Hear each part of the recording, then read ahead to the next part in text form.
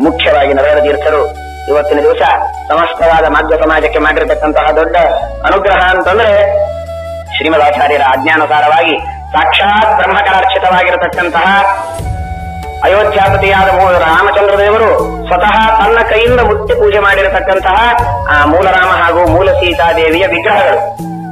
ನಾಲ್ಕು ಯುಗಗಳಿಂದ ಅನೇಕ ಋಷಿಗಳು, ರಾಜರು, ಸಾಕ್ಷಾತ್ ಬ್ರಹ್ಮದೇವರು ದೇವರು ಭೀಮಸೇನ ದೇವರು, ಪಾಂಡವರು ಇಕ್ಷಾಕು ವಂಶದ ರಾಜರು ಎಲ್ಲ ಋಷಿಗಳು, ಎಲ್ಲರೂ ಪೂಜೆ ಮಾಡ್ತಾ ಮಾಡ್ತಾ ಬಂದಿರತಕ್ಕಂತಹ ಪರಮ ದಿವ್ಯವಾದ ಪ್ರತಿಮೆ. ಇಡೀ ಭರತಖಂಡದೊಳಗೆ ಇಂತಹ ಚತುರ್ಯುಗವಾದ ಪ್ರತಿಮೆಯನ್ನ ನಾವು ನೋಡುವುದಕ್ಕೆ ಸಾಧ್ಯ ಇಲ್ಲ.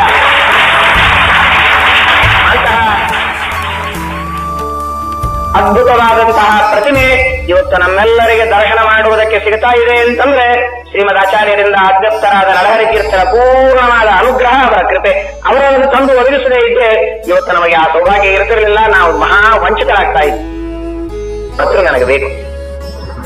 ಆಗಲಿ ಅಂತ ಹೇಳಿ ಅವನ್ನ ತೆಗೆದುಕೊಟ್ಟಿದ್ದಾರೆ. ಈ ರಾಮ ಸೀತೆಯರನ್ನ ಕರೆದುಕೊಂಡು ಕುದುರೆಯ ಮೇಲೆ ನೇರವಾಗಿ ಉಡುಪಿಗೆ ಬಂದು ಆ ಸಂದರ್ಭದೊಳಗೆ ಕಾರ್ತಿಕ ಶುದ್ಧ ದ್ವಾದಶಿ ತುಳಸಿ ಮದುವೆಯ ದಿವಸ. ಅವತ್ತು ತಂದ ಸಾಯಂಕಾಲ ಅದನ್ನ ಒಪ್ಪಿಸ್ತಾರೆ ನಗರಕೀರ್ಥ ಶ್ರೀಪಾದಗಳು. ಶ್ರೀಮದಾಚಾರ್ಯರಿಗೆ ಪರಮಾನಂದ. ಹನುಮಂತ ದೇವರಾದಾಗ ನಾನು ಮುಟ್ಟಿ ಪೂಜಿಸಿದ ಪ್ರತಿಮೆ. ಭೀಮಸೇನ ದೇವರಾದಾಗ ನಾನು ಮುಟ್ಟಿ ಪೂಜಿಸಿದ ಪ್ರತಿಮೆ. ನನ್ನ ಸ್ವಾಮಿ ರಾಮಚಂದ್ರ ದೇವರು ತನ್ನ ಕೈಯಿಂದ ಮುಟ್ಟಿದಂತಹ ಪ್ರತಿಮೆ ಇವತ್ತು ತೆಗೆದುಕೊಂಡು ಬಂದಿದ್ದಾರೆ.